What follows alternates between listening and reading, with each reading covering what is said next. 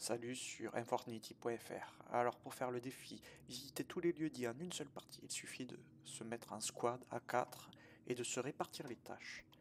Euh, par exemple le premier, il sera à Misty, il fait Slurpee, La Flottille, Weeping Wood, Holy Edge. Le deuxième, il sera aux ruines, Salty, Sweetie, Fief de Fatalis et Coral Castle.